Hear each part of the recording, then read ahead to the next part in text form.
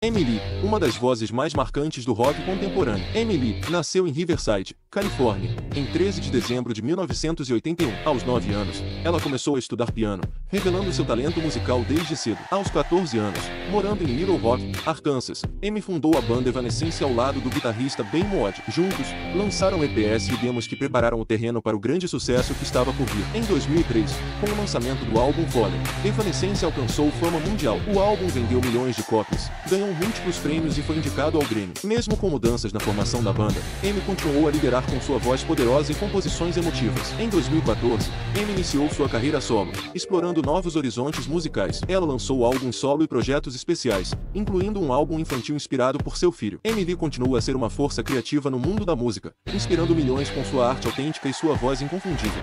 Para mais conteúdo assim, inscreva-se no canal e deixe seu like.